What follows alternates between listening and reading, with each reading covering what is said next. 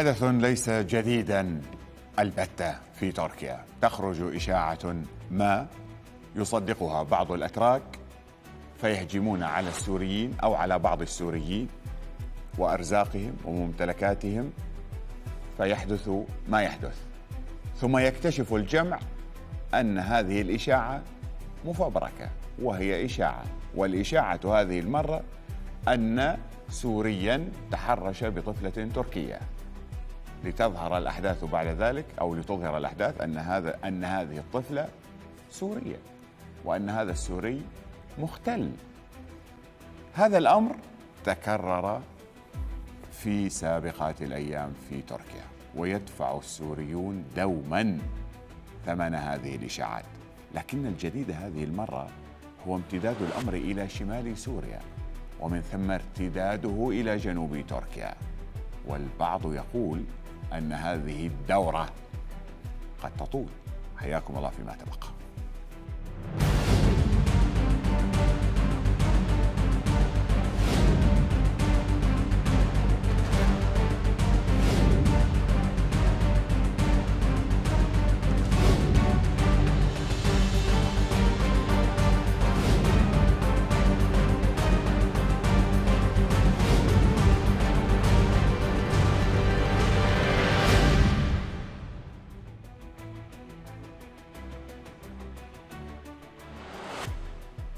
إذا الخوف يلاحق السوريين في كل الولايات التركية بعد أحداث قيصر المرعبة التي طالت ممتلكاتهم ومنازلهم.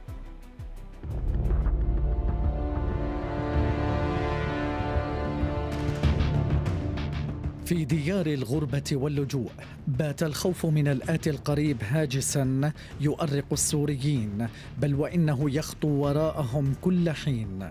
في تركيا التي كانت ديارا متسعة الرحاب فحمل السوريون فيها آمالا وأحلاما لكنها تناثرت وتكاثرت بعد تطورات غزت مواقع التواصل الاجتماعي وغصت بها وسائل الإعلام. تحديات جمة. تتصدر المشهد. آخرها الليلة المرعبة التي شهدها السوريون في ولاية قيصر. بعد اندلاع أعمال شغب وسلسلة اعتداءات وإحراق جماعية استهدفت ممتلكاتهم. إثر انتشار أنباء تقول إن شابا سوريا تحرش بطفلة قاصرة. تبين لاحقا أنها سورية. وما إن ذاع الخبر حتى انتشر أشخاص كالنار في الهشيم يحطمون محال وسيارات ويضرمون النار في أخرى. تعود ملكيتها للاجئين سوريين في الولاية. الأمر الذي دفع مسؤولين اتراكا للدعوة إلى ضبط النفس وتهدئة الشارع.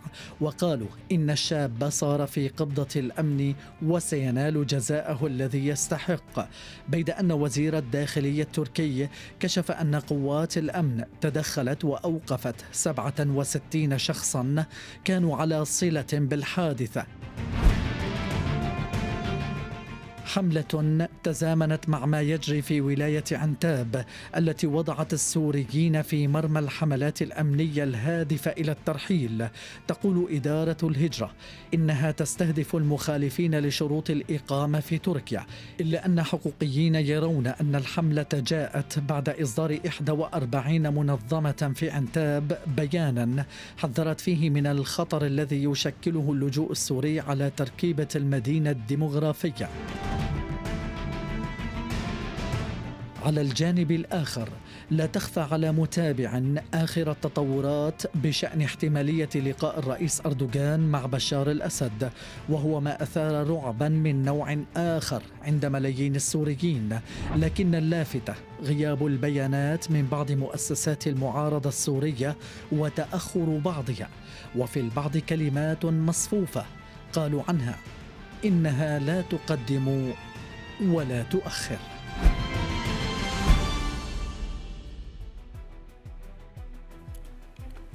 معنا من آه، قيصري مكان الحدث الصحفي أحمد الحسين. أستاذ أحمد مرحبا. أستاذ أحمد.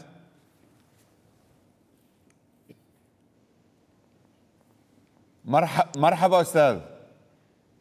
أهلا وسهلا أهلا وسهلا. تفضل أستاذ. حياك الله. ما الذي حدث في قيصري بالأمس؟ واليوم كيف هو الوضع؟ أستاذي اسكي شاهير هي تقريبا من أكبر المناطق في قيصري التي يقطنها لاجئين سوريين. المنطقة اللي وقعت بها الحادثة هي دانشمنت هي جزء من اسكي شاهير الذي حدث هو اشتباه مجموعة من الشبان الأتراك بحدوث حالة تحرش بطفلة عمرها لا يتجاوز الست سنوات تقريبا. من قبل شاب صغير أيضا حوالي في حوالي السنة من عمره بعد الحاق الطفل للشاب إلى إحدى دورات المياه العامة في المنطقة. حتى قاموا بابلاغ الشرطة التي حضرت إلى مكان الحادث لإقامة اغتسال الشاب أيضا وحمايه الشاب من الاعتداء من الناس اللي تجاهرت حول مكان الحادث. أيضا تم وضع الطفل تحت الحماية. انتشر الخبر في البداية على وسائل التواصل الاجتماعي أن الطفل المتحرك به هو من الجنسية التركية. أن المتحرك أو المتهم بالتحرك هو من الجنسية السورية قبل حوالي السادسة حوالي السادسة عشر من عمره بدأت عندها أعمال الشطب والاعتداء على ممتلكات السوريين من محلات وسيارات وحرق بعض المنازل.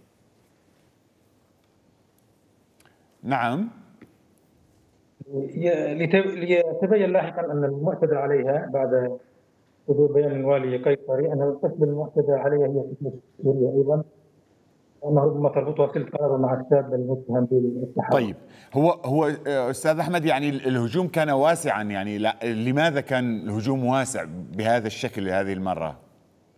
حقيقة هي منطقة إسكي شاهير منطقة من أكبر المناطق التي يسكنها السوريون.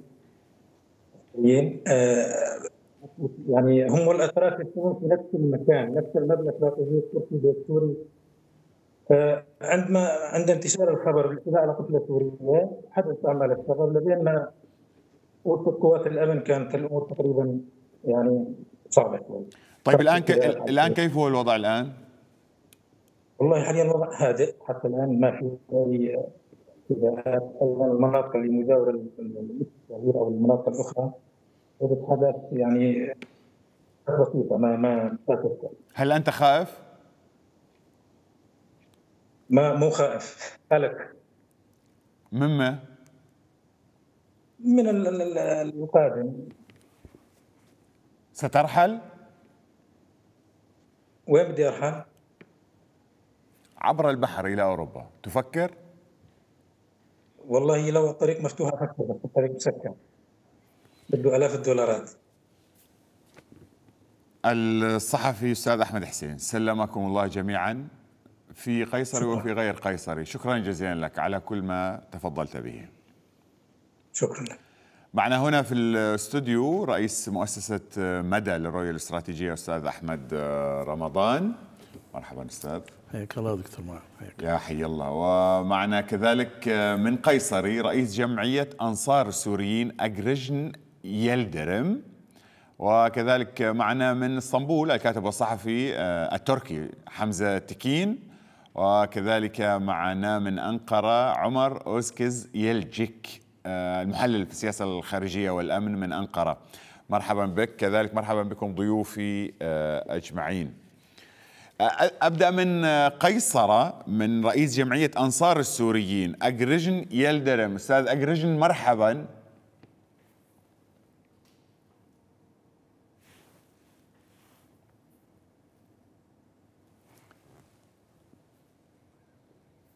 ليس معنا الآن. آه، سينضم معنا خلال الدقائق القادمة.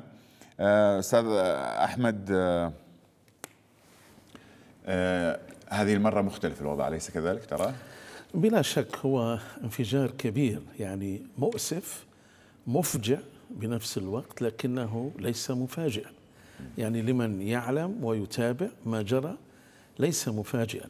أنا أمامي الآن حالة عنصرية خطيرة تتفشى ليس فقط تجاه السوريين بشكل عام لكن للأسف الشديد هذه القضية تركت كورقة للتداول على الطاولة لمن هب ودب يستطيع أن يستخدمها. يعني كان هناك قدر من التحمل لهذا الموضوع خلال فترة الانتخابات لكن نحن الآن لسنا في فترة انتخابات.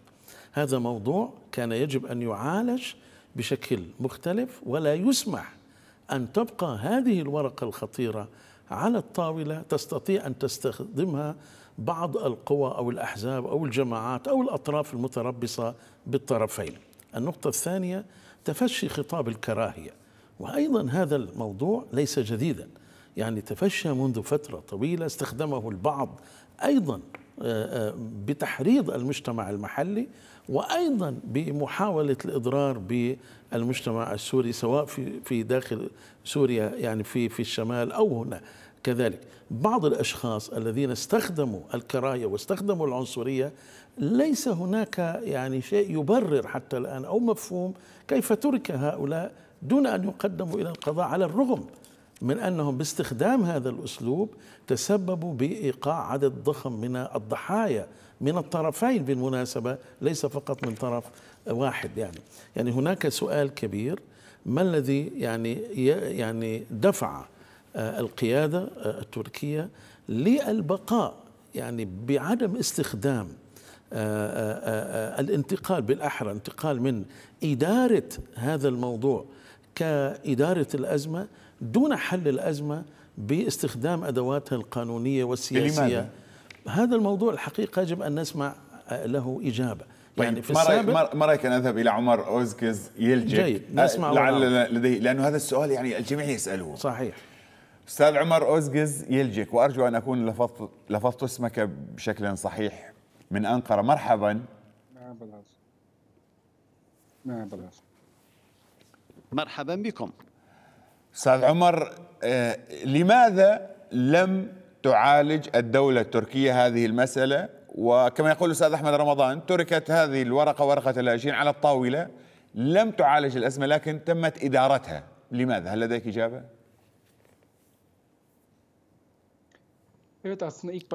في البداية يجب علينا الإفادة كالتالي أن ما عانينا فيه في قيصر لا يمكن أن نتقبله ولا يوجد له أي توضيح وهذا يمكن توضيحه ليس فقط بكلمة العرقية أو مثل هذه الأقوال هذه القضية ربما يتعلق بالتدخل المتأخر لقوات الأمن واجتماع هؤلاء الأشخاص كيف تم. وأنا أعتقد أن قسم كبير من هذا هؤلاء الزمرة التي قبلها هم عبارة عن مجرمين الذين هم يتسولون في الشوارع وراء هذه الحوادث والاستفادة منها. مع الأسف لأن هذه المجموعات التي تتحقق تستطيع التحرك بشكل سريع وأن تكون فعالة. وشعرنا في ذلك ولاحظناه في قيصري في حادثة قيصري. وأيضا آه، في شمال سوريا أيضا حسب السنة أيضا لا يمكن قبولها. لماذا تركيا ساعدت أو سمحت بحصول مثل هذا؟ هذا يمكن أن نفهمه أبدا. السوريين ما زالوا غير تابعين لسياسة معينة مقبولة في تركيا. وأصبحت أحلام السوريين في الماء ذابت وغرقت وذهبت. يجب هنا يوجد أزمة مع الأسف على الأخص بإصرار الضغط المستمر من المعارضة في تركيا. لو تم تفهم القضية السورية بشكل الموضوعي لكانوا رحلوا السوريين إلى بلادهم وعاشوا دو ولكن ويعودون بطبيعتهم ولكن أمام ذلك نرى أن هناك لا يوجد هناك اعتدال في الرأي حيال القضية السورية والوضع السوريين في تركيا لن يكون أبدا أسوأ من وضعهم في لبنان أو في العراق. ولكن ما نهدف إليه لم يحدث وما نتوقع من الح... نتوقعه من الحدوث قد قل والسياسيين الأتراك يتحملون المسؤولية وتكاليف هذا الذي يحدث الآن. قسم كبير من السوريين هم سيبقون هنا بشكل دائم في تركيا ولا يجب علينا ويجب علينا أن نفهم ذلك بشكل أو آخر. نعم سوف نشجع لعودة السوريين ويجب علينا تحسين أوضاع السوريين وتوفير الحلول ما يعانيه السوريين. ولكن يجب علينا بجانب ذلك تطوير أشياء أخرى حيال السوريين ويجب أن يكون هذا الوضع الذي هو تحت الحماية المؤقتة مستمرا ومستديم والسوريين يجيبوا يريدون المواطنية التركية وهذا لهم حق ولكن مع الأسف لقد تم إغلاق هذا الباب. وألن يتم فتح هذا الباب. هناك يجب أن نضع معادلة ما بين البين وهو تطبيق البطاقة الزرقاء للساريين للسوريين. ويعيشوا السوريين في تركيا جنبا لجنب مع الأتراك يعني نأتي مع بعضنا ونتكلم ونتحاور. أنا سوف أسألك في الجولة القادمة من النقاش هو كم عدد الأتراك الذين يقولون بما تقوله أنت؟ في غضون ذلك أذهب إلى الأستاذ حمزة تكين. آه، مرحبا أستاذ حمزة. تحية لك ولضيوفك وللمشاهدين الكرام. مرحبا. يعني أستاذ أحمد رمضان أستاذ عمر سأل هذا سألا هذا السؤال. لماذا لم تحل الدولة التركية هذه الورقة؟ لماذا تركت على الطاولة؟ هل في الأمر قصدية؟ يعني أنا لا أتفق مع هذا الطرح على الإطلاق أن الدولة التركية لم تحل أو لم تعمل على حل هذه المشكلة منذ بداية استقبال السوريين على الأراضي التركية. على العكس تماما المؤسسات التركية عملت كثيرا. وأنا شخصيا حضرت مئات الاجتماعات بين الجمعيات السورية والصحفيين السوريين والممثلات السورية وكثير من العناوين السورية للتجمعات السورية في تركيا مع الدولة التركية من وزراء الداخلية سواء كان السابق أو الحالي إلى الولاة في إسطنبول وغير إسطنبول. وكذلك اجتماعات مشتركة بين السوريين وإدارة الهجرة التركية. وبالتالي كانت المساعي التركية كثيرة وبالتالي لا يمكن القول إن تركيا لم تعمل أو لم تحل هذه المشكلة. وبالتالي المشكلة حاليا إذا أردنا أن نوصف بشكل منصف ولا نلقي اللوم فقط على جهة محددة فإن كلا الطرفين اليوم ممثلي أو ممثلو السوريين داخل تركيا وجمعياتهم ومؤسساتهم وهيئاتهم وتجمعاتهم يتحملون جزء من مسؤولية وجود جزء من هذه المشكلة على أرض الواقع وكذلك الدولة التركية. كثير من هذه الاجتماعات خرج عنها كثير من الأمور الإيجابية ولكن بعض النقاط بقيت معلقة نتيجة خلافات. تارة بين السوريين بين بعضهم البعض وتارة بين السوريين من جهة ومؤسسات الدولة التركية من جهة أخرى. وبالتالي نتيجة هذا الخلاف وهذا الوضع وأنا كما ذكرت مئات الاجتماعات وليس عشرات مئات أستاذ معاذ وأنا شخصيا شاركت بها بعض هذه الاجتماعات كانت يعني تنتهي بعدم اتفاق تام. وبالتالي هذا ما تسبب بما وصلنا إليه اليوم من هذا الوضع القائم سواء كان في بعض المناطق التركية أو في بعض المناطق في الشمال السوري. هنا أريد أن أعلق بعجالة على آخر التطورات منذ أمس ووصولا إلى ما يحصل حاليا وما زال مستمرا في مناطق الشمال السوري. طبعا ما حصل في ولاية قيصري التركية بكل تأكيد ولا أصلا لا يستحق أن نقول أنه مدان. يعني هذا أمر مفروغ منه وامر بديهي أن نرفض مثل هذه آه، آه، آه، الأحداث التي حصلت والاعتداء على أبرياء وعلى منازلهم وممتلكاتهم. وبالتالي أيضا كذلك لا يمكن أن نتصور وأن أقبل أنا شخصيا الذي زرت الشمال السوري أيضا لمئات المرات خلال السنوات الماضية وآخر زيارة كانت قبل أسبوعين تقريبا. لا يمكن أن أقبل أو أتصور أو أتخيل أن ما قام أو من أحرق اليوم واعتدى على العلم التركي والمؤسسات الثورية السورية هي ليست مؤسسات تركية بالمناسبة في الشمال السوري هم يعني ناس عاديون في المناطق في مناطق الشمال السوري على الإطلاق. من قام بالاعتداء على السوريين في ولاية قيصر التركية ومن قام بالاعتداء على المؤسسات المدنية السورية التي تخدم السوريين أصلا في الشمال السوري هي مؤسسات أو هي يعني مشكات واحدة و آه، آه، من هي؟ آه، تنظيم و... هذا التحقيقات ندعو المؤسسات الأمنية عبر هذه الشاشة وهي متابعة وأنا أعرف أنها متابعة من الجانب التركي وكذلك من الجانب السوري سواء كان من النظام السوري أو من المعارضة السورية. اليوم مطالبة الدولة التركية وبدأت بالفعل بإجراء التحقيقات اللازمة لإيقاف وتوقيف كل من اعتدى على ممتلكات السوريين في ولاية قيصري وتوقيفهم. وحتى الآن تم توقيف 67 شخص تركي تم إيقافهم من قبل الشرطة التركية. وبالتالي هذه نقطة إيجابية تحسب للدولة التركية لمحاسبة المذنب. وكذلك أنا حسن. أقول لك وفق المعلومات التي جملة أخيرة وفق ما وصلنا من الشمال السوري كذلك سوف تبدأ حملة اعتقالات لتلك الجماعات التي كانت ملثمة أستاذ معاذ ملثمة التي اعتدت على المراكز المدنية، التي اعتدت على السيارات في الشمال السوري، التي اعتدت على قوافل المساعدات، أستاذ معاذ المساعدات كانت داخلة إلى بعض المخيمات، تم الاعتداء عليها، وبالتالي ما حصل غير منطقي. لذلك ألا يمكن تفسيره كذلك ألا الشمال السوري ستوقف هؤلاء. البعض يقول لك أستاذ حمزة يعني يبدو الغضب طبعا لا شك يعني قصة حرق العلم التركي هي قصة مدانة وغير مقبولة والاعتداء على المؤسسات والاعتداء على الأفراد هذا أمر مرفوض تماما ويرفضه كل السوريين. لكن البعض يقول لك أن الغضب يبدو وصل مداه؟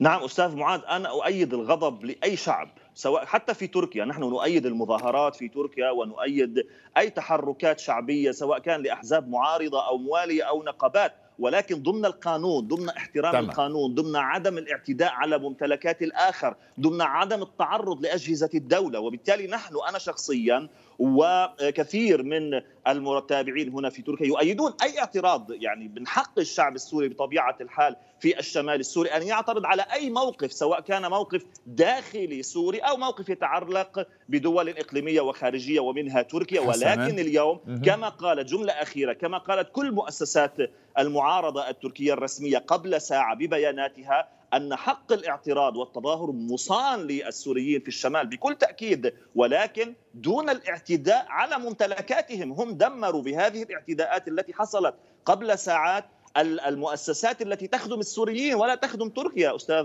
معاذ. وبالتالي الاعتداء على الممتلكات على المؤسسات على السيارات هذا مدان سواء حسنا. كان من قبل سوري أو نعم. من قبل تركيا أو من قبل آخر مع بطبيعة الحال الاحتفاظ بحرية الإبداء الرأي ضمن الأصول المعتمدة قانونيا وانسانيا. تمام. آه الآن انضم إلينا رئيس جمعية أنصار السوريين من قيصره أستاذ أجرجن يلدرم. أستاذ أجرجن مرحبا.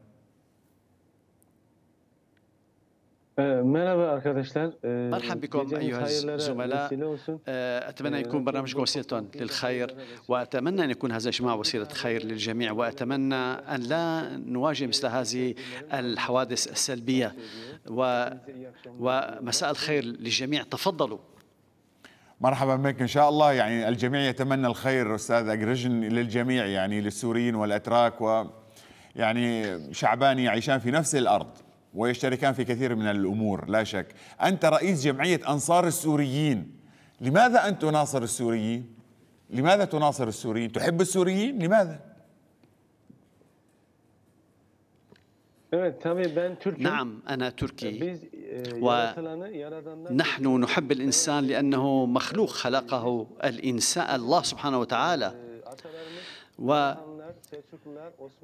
وراءنا يوجد تاريخ قديم والعثمانيين والاسلام وديننا وبدون نظر إلى عرق الانسان والاثنيه الخاصه به نحن نخاف الله وهؤلاء السوريين دخلوا إلى دولتنا منذ عام 2011 خوفا ملتجئين من الظلم و حوالي أربعة ونصف مليون سوري فتحت الباب لهم ليعيشوا في هذه الدولة كأخوة لنا. ونحن نتشرف باستضافتهم ونقبلهم كضيوف علينا. ويوجد حوالي 90 ألف سوري موجود في قيصري ونحن عبارة عن جمعية تحاول مناصرة هؤلاء السوريين. وفي يوجد لدينا في جمعيتنا أتراك وسوريين قمنا بتأسيس هذه الجمعية سويا. وفي جمعيتنا دائما آه، السوريين يعتبرونها جمعيتهم ودائما يدلون بجميع معضلاتهم ومشاكلهم وأسئلتهم لنا ونحن نحاول أن نحلها آه، كمؤسسة آه، كوقفية وكمؤسسة وجمعية تعمل في هذا المجال. طيب يعني وقعت الواقعة عندكم في قيصر يعني بالأمس لماذا؟ هل لديك تفسير ما سر هذا الهجوم الكبير والمفاجئ؟ يعني على آه، كل حال نحن هنا كنا نتوقع أن يحدث شيئا ما. أنتم تعلمون أن يوجد حزب آه، عرقي موجود ويحاول آه، العمل في العرقية والتمييز العنصري. وحسب أهوائه يقوم بالتعامل مع القضايا الموجودة في ضمن هذا الإطار في تركيا. وجميع مشاريعه التي يسعى إليها هي من أجل آه، أعطاء هذا الموضوع صفة قومية أو وطنية من وجهة نظره ويعمل على ذلك في قيصر ويحاول أن يضخم الأمور وراء ستار القومية. وقيصر هي مدينة تجمع القومية بكل نزاهتها مع بعضها البعض مبنية على الأسس الدينية. آه، وأرادوا استغلال هذه النقطة. ويستطيعون أن يستغلوا أفكارهم لزرعها بهذا الشكل السلبي في قيصر وأن يجدوا لها مزرعة خصبة. ونحن كنا آه، كنا نتمنى دائما أن آه، وكنا متوقعين أن يحدث ذلك دائما في قيصر نتيجة هذا السعي من الطرف الآخر السلبي ونتيجة هذه العنصرية التي تحصل. ولا نريد أن يكون هناك فورة بين الشعب التركي والشعب السوري واعتداء على الممتلكات السوريين بهذا الشكل. وآلاف من الناس اجتمعوا آه، ضد هؤلاء السوريين في المنطقة التي آه، موجود فيها في الأحياء الموجود فيها السوريين. ونعتقد بأن هذا تم تخطيط له وكانت قد عملت له سيناريوهات آه، سابقة وتم العمل عليها وتم تنفيذها. ولا يوجد لدينا أدلة على ذلك. ولكن نعمل حسب المعلومات التي أتتنا آه، أن هناك أشياء تم تحضيرها وتخطيط لها وعبارة عن عملية تمت بهذا الشكل. حسنا أستاذ أحمد رمضان المشكل يعني يتحمل جزء منها السوريين. يعني السوريون بمؤسساتهم وأنت كنت في الائتلاف. ماذا كنتم تفعلون في الائتلاف؟ اولا دعني أؤكد يعني أن علاج هذه المشكلات ليس علاجا امنيا. يعني جزء منه يتم التعامل مع حالة الفوضى بشكل أمني. لكن ولا هو علاج باستخدام أو الاستمرار باستخدام المراهم المسكنة كما اعتدنا لأن هذا انفجارات يعني مستقبلية قادمة. وإنما العلاج هو عملية حقيقية على مستويين. أولا أنت لديك لاجئين موجودين في داخل تركيا. سأتحدث عن مشروع تم تقديمه للجانب التركي قبل حوالي ست سنوات في هذا الموضوع وجرى التأكيد عليه أكثر من مرة. وأخي حمزة تحدث عن اجتماعات كانت تعالج الارتدادات الفعلية وهذا عمل مشكور. لكن أنت لا تحتاج فقط معالجة الارتداد أنت تحتاج أن تعالج الأزمة الحقيقية التي نتجت عن هذا الأمر. أنت لديك الآن عدد كبير من اللاجئين. جزء منه يجب أن يتكيف مع الوضع يحصل على الجنسية يصبح وضعه قانوني. جزء منه لديه أعمال أيضا يحتاج إلى قوننة وإلى آه، تثبيت حالته القانونية. ونحن نشاهد الآن أعداد كبيرة هجرة كبيرة من رأس المال السوري إلى الخارج. ليس هناك سؤال مطروح على الطاولة الآن لماذا يغادر هؤلاء. وجزء جزء ثالث وهو مهم أيضا آه، من هؤلاء. لا يمكن يعني من الصعوبة احتوائه لا هو سمح له بالاستمرار بالعبور إلى دولة ثالثة ولا جرى التمكين له بالعودة إلى الداخل. وهنا السؤال المهم جدا لماذا هذه الفوضى وهذه التحركات في الداخل؟ أين هي الحكومة وأين هي السلطة الموجودة في الداخل؟ بعد سنوات الآن من المسؤول عن حالة الفوضى الموجودة الآن في الداخل؟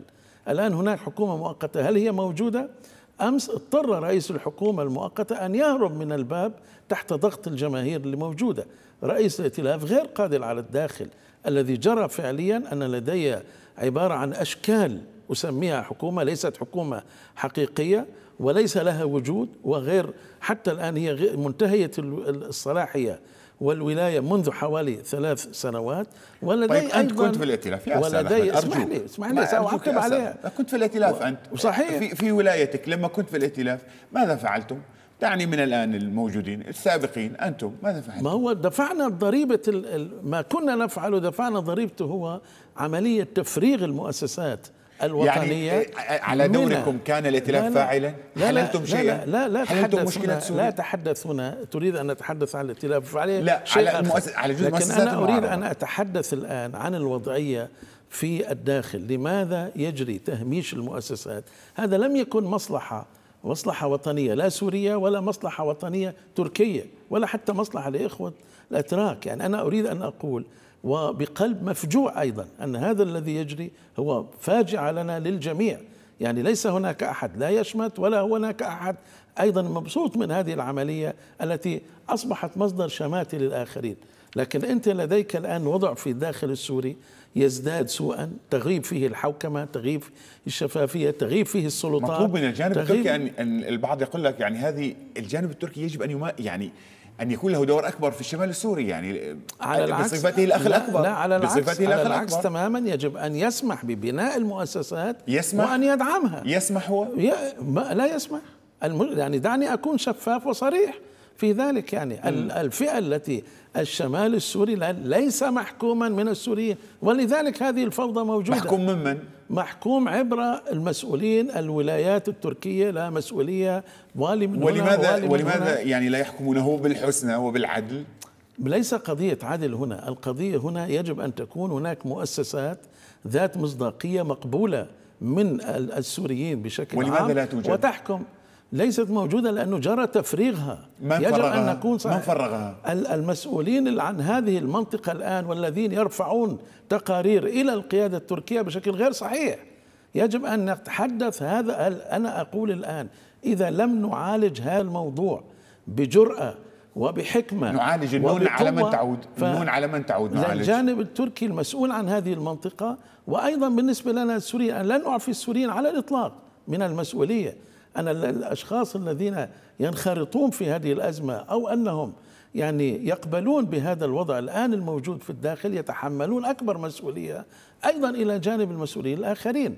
لكن نحن أمام وضع الآن أنا عندي الآن أربع ملايين لاجئ يجب أن أنهي وضعهم بهذه الصورة. أنا الآن أقوم بترحيل سوريين آه، وضعيتهم قانونية ليست صحيحة إلى الداخل. كيف سيذهب هؤلاء؟ أين سيذهب هؤلاء الآن؟ نحن نراكم الوضعي الاحتقان في الداخل. يعني في الداخل يجب أن نتذكر أن السوريين كانوا يحتفون لا بالعنصر التركي عندما دخل. وهناك مشاعر صادقة موجودة لدى السوريين. كيف انقلبت الأمور الآن؟ يجب أن نسأل هذا السؤال ونعالجه. يعني أنا عندما أتحدث إلى أي أخ آه، تركي ومسؤول تركي يجب أن لا يعتبر هذا الكلام الذي أتحدث إليه على أنه جانب سلبي أو نقد سلبي. يجب أن أتحدث معه ويشعر بأن هذا الكلام هو مصلحة مشتركة للجميع. لذلك قلت استخدام المراهم المسكنة الآن مرة أخرى سيؤدي إلى تفجير هذه الأزمة بعد بعد فترة لأن هناك أطراف وقوى كامنة في كل الاتجاهات تستخدم هذه الورقة باستمرار. نحن لا نعالجها. يعني يجب أن نعالج ملف اللاجئين. يعني أنت تريد أن تعيد. أنا يعني في الخطة التي تحدثنا عنها قلنا تستطيع أن تسمح بعودة مليون لاجئ أن يعودوا إلى سوريا عودة طوعية من أهالي المناطق لكن يجب أن توفر لهم البيئة توفر لهم العمل توفر لهم الاقتصاد. ولم توفر الآن غير موجود. طيب. ولذلك هؤلاء تحولوا إلى جزء من حالة الاحتقان الهائلة الموجودة في الداخل. يعني أصبح شمال سوريا فعليا يشبه جنوب العراق. كيف جنوب العراق الآن موقفه من من إيران؟ أصبح الآن شمال سوريا هذا الموقف. من الذي فعل هذا الموضوع؟ كبيرة هذه. يعني من الذي فعل هذا الموضوع هل تعتقد ذلك فعلا؟ أنا قلت هذا الكلام رسميا للأشقاء. قلت لهم يا أصدقاء ماذا قالوا لك؟ هناك يعتقدون بأن هنا الأوضاع ما زالت جيدة. هناك من يرفع تقارير ويقول أن الأوضاع سليمة طيب كيف؟ ألا توجد مخابرات تركية في الشمال؟ لا ترك موجودين في الشمال. يعني هذا السؤال هذا السؤال يجب أن يوجه يجب أن يوجه لهم. لذلك الآن دعني دعك بأخي معاذ بنظرة آه، ثاقبة لهذا الموضوع. يعني أنت الآن يجب أن يكون لديك حكومة وسلطة إدارية قائمة.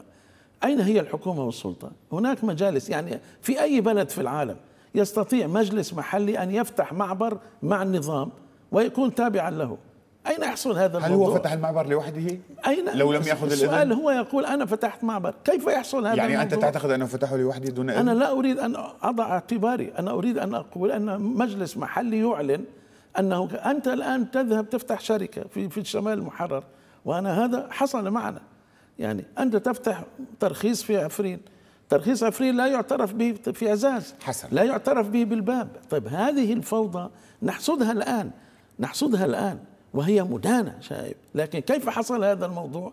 هذا نتيجة تراكمات هائلة وعدم علاج الأخطاء. وإذا الآن نستمر ولا نعترف بالأخطاء هذه ونبقي هذه المكابرة نحن سنذهب إلى ما هو أخطر لا سمح الله وهو مضر بالجميع.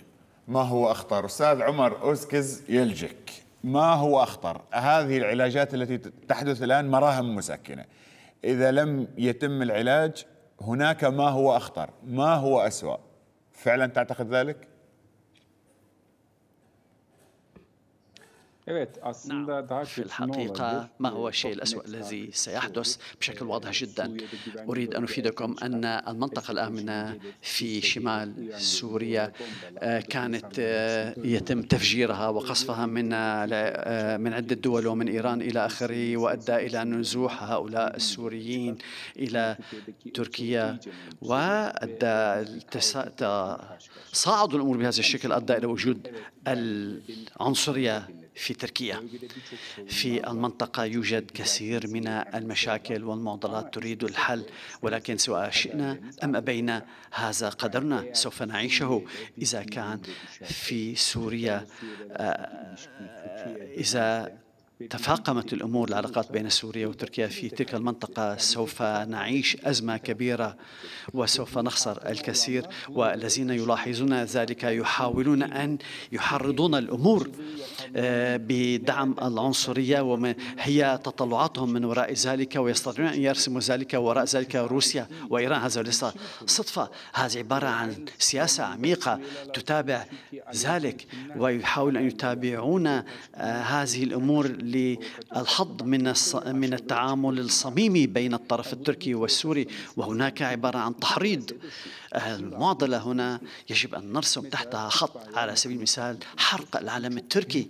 هذا عبارة عن غضب كبير وعمل كبير وهذا غير مقبول ابدا. ولكن هذه المشاكل التي نعيشها الكبيرة ما هو عمل العلم التركي في تلك المنطقة؟ يوجد أعلام كثيرة هناك. لماذا؟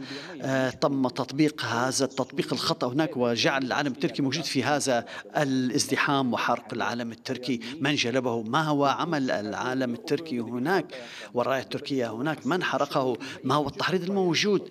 دائما كان الهدف حرق العمل التركي وفي قنوات التواصل الاجتماعي يوجد ردة فعل كبيرة على حرق العلم التركي.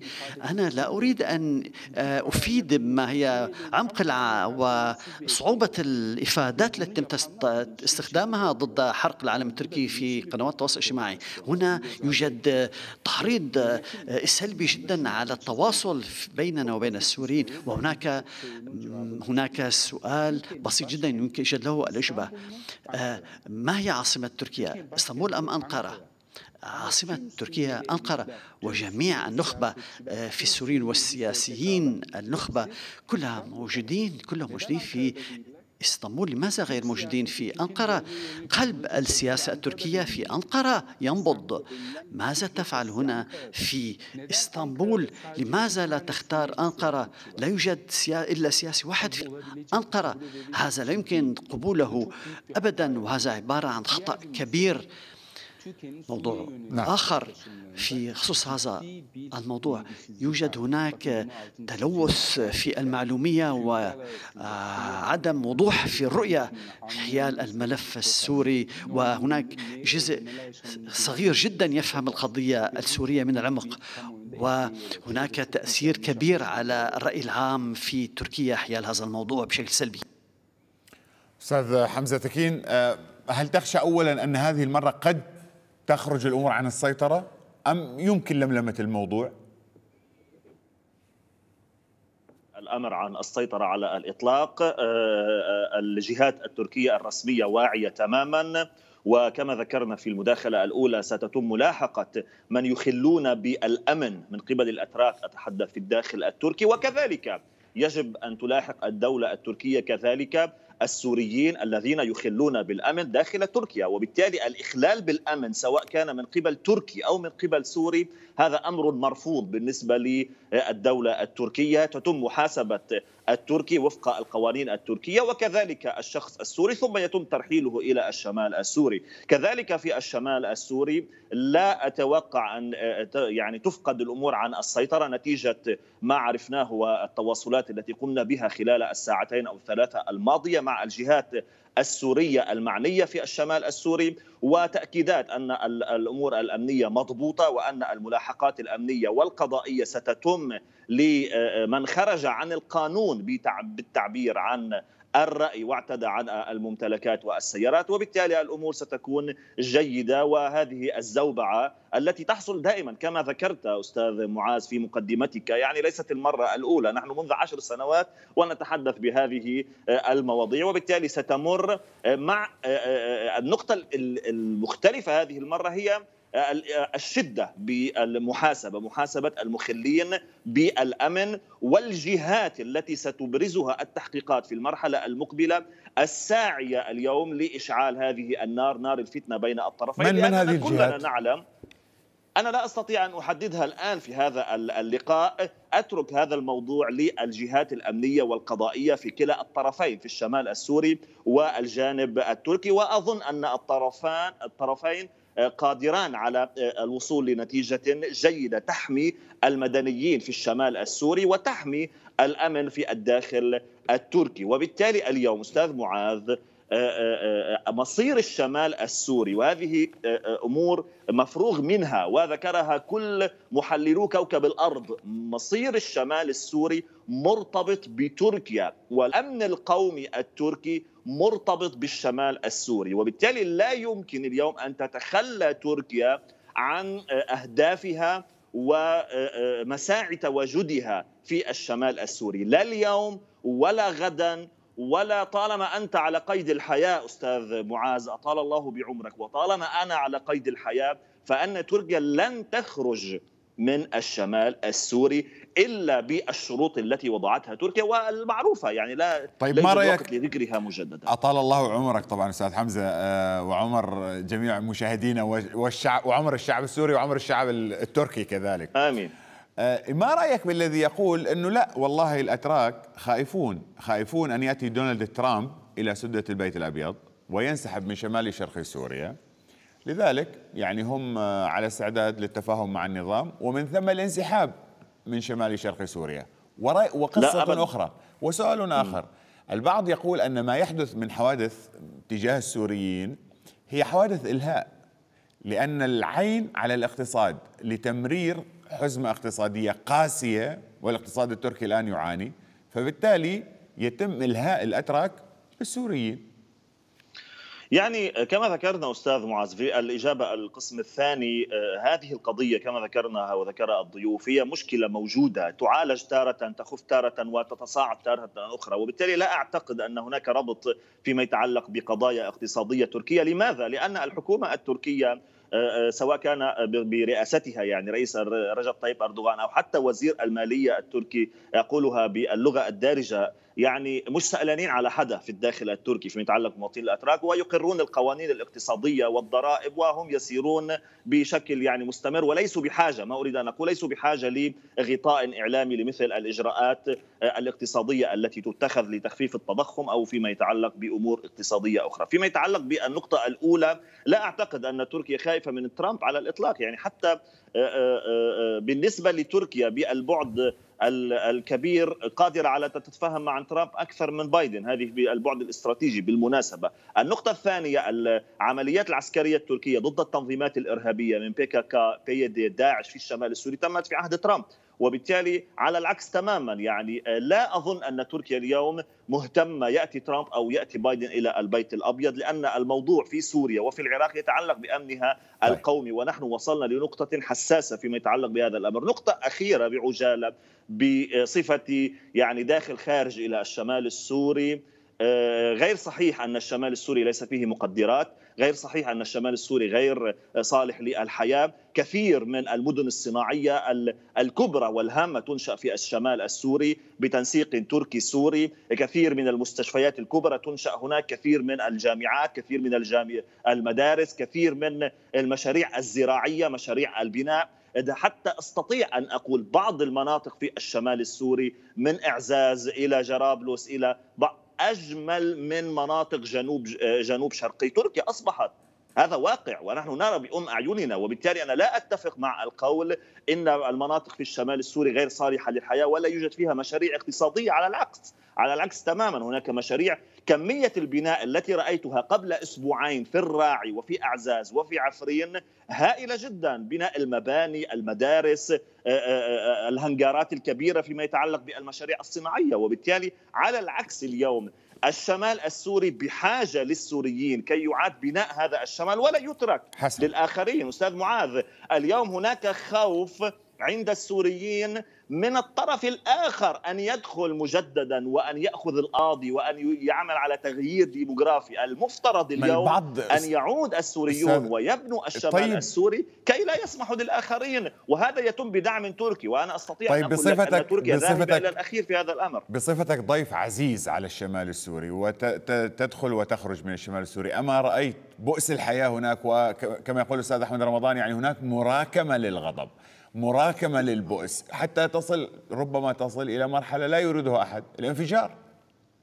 يعني المشكلات في المدن لأكون صريح معك أستاذ معاذ المشكلات في المدن آه، في الشمال السوري آه، غير موجودة بهذه المشكلات التي تصور في الإعلام حجم المشكلات هناك هو نفسه في أنقرة وفي طيب. إسطنبول وفي غازي عنتاب هذا موجود الوقت. في كل بلاد العالم حسن. المشكلات لأكمل الجملة المشكلات ربما آه. نراها أكثر والتفاقم الأزمة الإنسانية في المخيمات لذلك يجب أن طيب. يكون هناك تعاون بين تركيا والدول المعنية بدعم الشعب السوري لتعزيز الاقتصاد أكثر ودعم السوريين الذين هم سيبنون. أستاذ معاذ هم سيبنون بلادهم ولا أحد يسمح لهم. السوريون وليس السوريون توقون. السعودية هم. السوريون توقون لكن البعض يقول لك لا أحد يسمح لهؤلاء السوريين.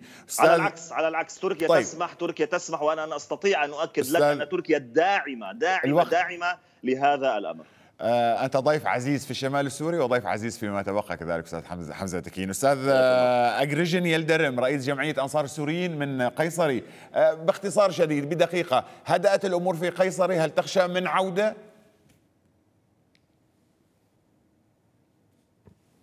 Evet, e, نعم. şu anda حاليا الأمر ثابت. لا يوجد أي حوادث. وحسب ما نراقب من الخارج نرى أن القوات الأمنية أصبحت فعالة ووقفتها متينة ورفعنا لهم طلبهم بخصوص المناطق والأحياء التي يعيش فيها السوريين بأن يكون ضبط للدخول والخروج في المناطق. الدخول والخروج تابعة لتلك الأحياء لكي الحفاظ على هذه الأحياء آه، وعدم دخول الأجانب يعني الأجانب بمعنى الغريبين عن المنطقة لإشعال شيء ما لأن السوريين يعيشون في تلك المنطقة وهناك استفسارات آه، من أجل تخ... آه، وراء القاصدين في تخريب تلك المناطق الخاصة بأحياء السوريين. نحن ما زلنا لدى الرأي العام في قيصري في على طور محاولة الإقناع بإيقاف جميع الأمور السلبية وتثبيت هذه الأشياء بأنها خاطئة بالشكل الملموس نعم. ونتمنى أن نكون نحن قادرين على التوعية أكثر وأكثر وأن هذه الحادثة ليست فقط عملية تحرش هي عبارة عن عملية مخططة. مخططة مسبقا. ونحن وراء آه، آه، عامل سببه مريض ذهنيا. آه، وهذه الحركة التي تمت من قبل معاق. لذلك يجب علينا أن نسير على هذا الموضوع ونتابعه بالشكل ونفتح قوس وراء ذلك لكي نتحرر من هذا الموضوع. شكرا أستاذ أجرجن. شكرا جزيلا لك. والله الوقت يعني يوك أستاذ اجريجن آه عمر أوغيز يلجيك آه من أنقرة. آه بنصف دقيقة. هل تخشى من لحظة تنفجر فيها الأوضاع فعلا؟ في شمال سوريا أو هنا في تركيا بين الأتراك والسوريين.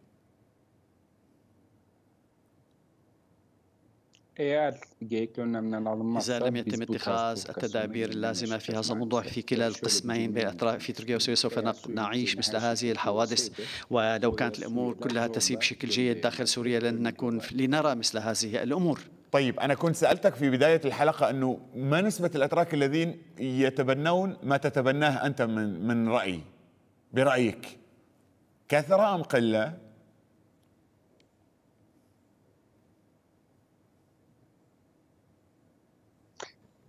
Evet, bu da Türklerin sayısına kadar şunu açık إذا أردت أن أعطيك الرقم وراء ذلك هو أن الأغلبية الساحقة هي وراء ذلك ولا وأيضا هنا نحن كأناس ونفكر في هذا الموضوع ولسنا ونفكر كسوريين وعراقيين في هذا الموضوع لكن في تركيا مع الأسف لا يمكن الاستمرار بهذه المواضيع بهذا الشكل المؤسف أستاذ أحمد رمضان دقيقة يعني هذا جرس إنذار كبير الحقيقة الذي حدث. وإذا لم يتم الانتباه له فأنا أخشى أن تمر علينا ظروف أصعب من ذلك. ما هي الأصعب؟ لأن أصعب بمعنى أن يعني حجم الاستغلال الذي جرى لحادثة قيصري وما تلا وللشمال السوري حجم كبير. هناك قوى تستغل هذه الأحداث.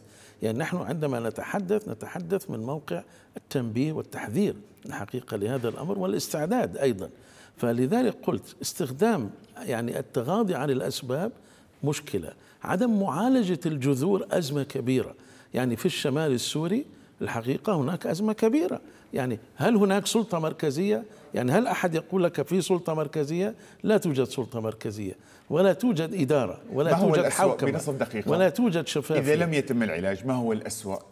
هذا الذي نشاهده أن يتطور بشكل إلى أكبر إلى إلى حالة صدامات وشغب وأعمال عنف وكل هذا الذي نراه. هذا لا أحد يريده ليس فقط مدان لا أحد يريده. يعني يجب أن تتم معالجته. معالجته ليست أمنية. معالجته يجب أن تبدأ بفتح الملفات الأساسية والتعامل معها بحكمة وأيضا ملف اللاجئين. يعني عمليات الترحيل والاستمرار بهذه الصورة غير مقبولة وغير منطقية وأعتقد أن الدولة يجب أن تقوم بدورها وحزب العدالة يجب أن يقوم بدوره. لا يمكن أن يبقى حزب العدالة أيضا راكنا كثيرا كما هو الآن. كثيرا ما استخدمت فعل يجب في هذه في هذه الحلقة أستاذ أحمد رمضان وأتمنى أن تصل هذه الرسالة تمام. إلى ال ال الإخوة والمعنيين جميعا. رئيس مؤسسة مدى للرؤية الاستراتيجية أستاذ أحمد رمضان السياسي السوري. شكرا جزيلا لك أستاذ أحمد.